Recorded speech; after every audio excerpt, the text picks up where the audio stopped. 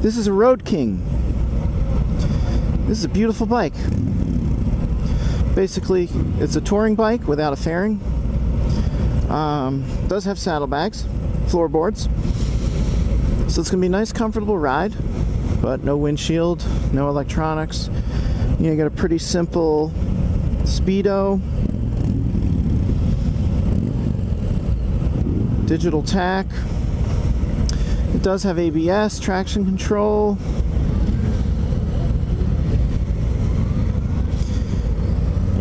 And, uh, you know, the Road King. It's uh, been a pretty popular bike for Harley for a long time.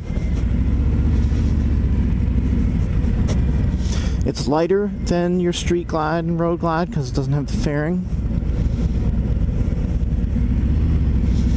you know, if you were looking for a comfortable bike that you could go on long distances with or even commute with, but at the same time, you didn't want something as heavy, you know, that's uh, that's the Road King. I'm not sure if the cornering is really going to be any different. I mean, it is the same chassis, but um, nimble. That's the word i was looking for earlier today. Oh it's got some giddy up. Yeah. Yeah definitely more than the limited i just took out. That thing was a big bike. This road king has that big fat cover on the headlight. That's kind of cool looking. The road king. I've seen Road Kings with fairings in the past. I don't really know what the deal with that is. If that's like an aftermarket thing or like an add-on, but whatever. If you want a fairing, get a bike with a fairing, right? Big fat front forks.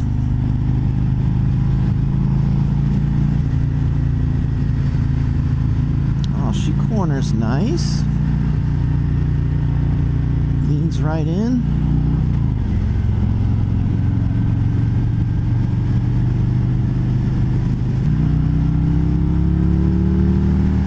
Oh, she's nice. She's got power.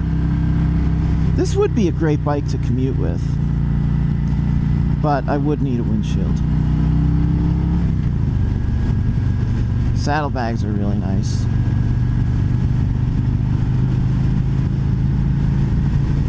Yeah, it's amazing the difference between having a windshield on a bike and not having one. Really noticeable difference. I've got a detachable windshield and I've taken it off from time to time, usually once or twice a year just for the experience. And the last time or two I've taken it off, I've been like, you know, why am I taking this thing off? It's just so uncomfortable. Of course, I'm usually blasting along doing 70.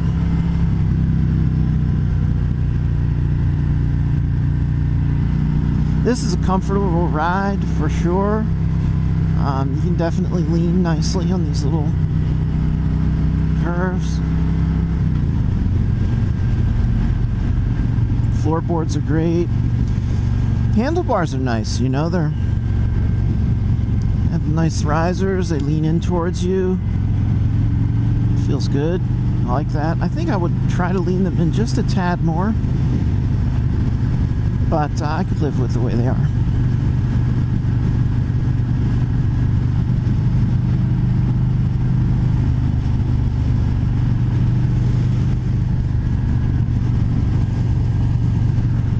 Seat feels good. Seat feels real good.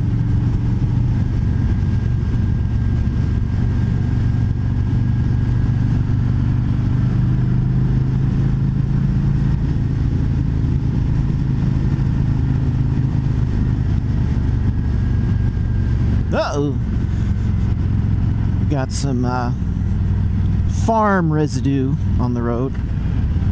You know, when you are thinking about a new bike, there's so many different factors to take into account. What you have to put them in order of priority, you know. Is tearing it up on country roads your thing? Do you want to go long distances on the highway and have a more comfortable ride? Do you need storage? Is riding in cold temperatures an issue? Unfortunately for me, it's all of the above. I like to tear it up on the little country roads. Um, I also like to commute to work and I need storage and I like to ride even if it's cold. But, um, you know, you got to pick what's best for your your riding style. So this looks like it has the hydraulic clutch. I guess a lot of the 2020s, I don't know if they all do, but you can see like over here you've got your brake fluid reservoir, and over here it's like, oh, that looks just like a brake fluid reservoir, except it's for the clutch, so you no longer have the clutch cable. And um, I'm not sure, I don't think you have that on the Softail line. I think that's just limited to the touring line. I love Harleys. I love motorcycles, but I love Harleys. I've only owned two of them, but I've ridden a whole bunch of them. This is my third time doing the demo thing, so I've probably demoed about 15 to 20 bikes. And uh, for my kind of riding, the sporty was just a little too rough. But man, anything from the Softail line on up, I could get used to. Except the FXDR, the red-headed stepchild. But Harley makes so many nice bikes. You know, every year the new models come out, or they come up with something new and different, and people all lose their minds. I've never been one of those, you know, I, I always just seem to see a lot of positives in what Harley's doing. You know, every company makes bonehead decisions sometimes. It's really interesting the feel of the clutch when you shift. I'm really surprised that there's any feel because it's hydraulic and not cable, but it's you feel a clunk in your hand and I never really noticed it to that degree with a cable system.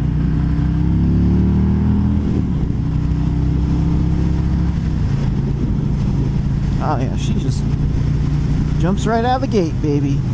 Just like that, 3,000 RPMs, doing 75 miles an hour. And she's like, yeah, I got plenty of, plenty of giddy up left. This is a nice bike. Nice bike you know, it's kind of simple looking appearance wise compared to the other touring bikes. But don't let that fool you. She's got it where it counts.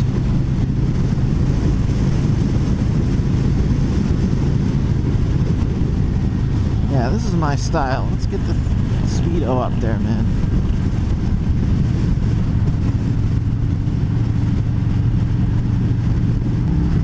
I think my most enjoyable all-around ride today was the Street Glide, the first one I took out this morning. Um, I know that's like Harley's most popular bike, so I don't want to just be like a cliche, but for the kind of riding I do at this point in my life, that would be probably the best choice.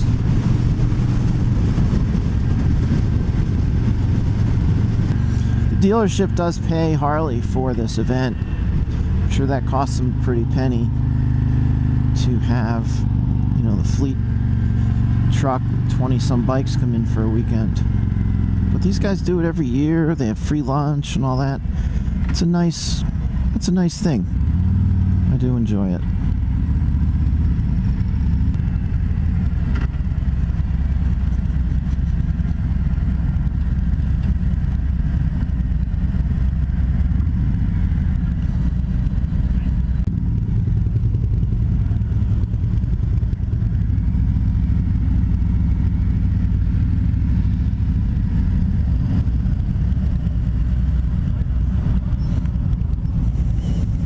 There you go. Road King.